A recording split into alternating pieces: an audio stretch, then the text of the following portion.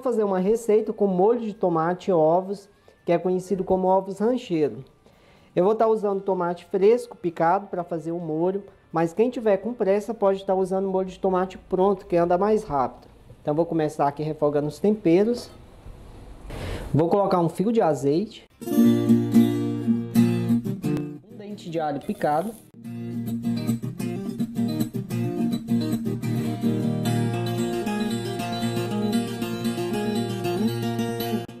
Caseiro.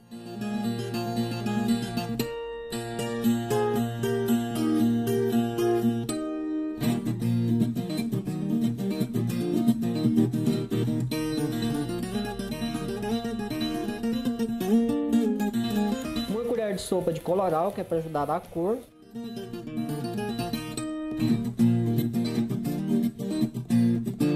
Meia cebola picada.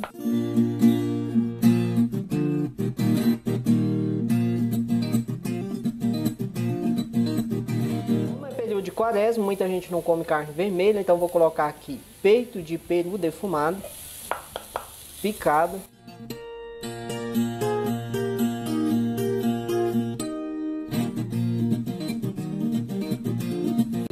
reino a gosto. Agora eu já vou vir com tomate picado. Ele tá sem semente e tá com pele, viu? Eu não tirei a pele.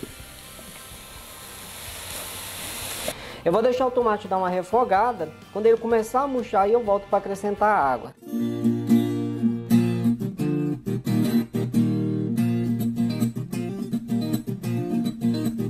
Aqui o tomate já murchou. Agora eu vou colocar água quente.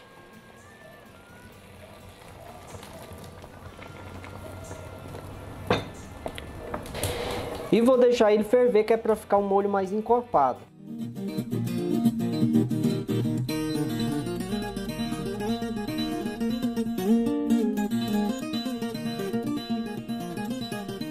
Vinte minutos depois, o molho já encorpou. Agora eu vou acrescentar um pouquinho de cheiro verde.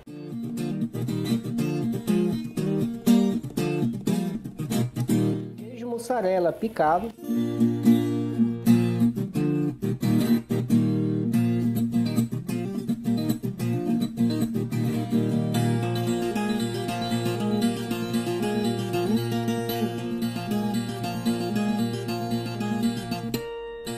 Que é só colocar os ovos já quebrados.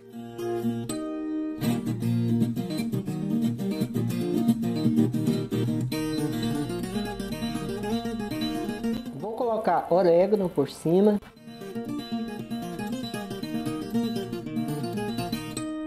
Quem quiser colocar uma pitadinha de sal também pode. Agora vou tampar e vou deixar cozinhar.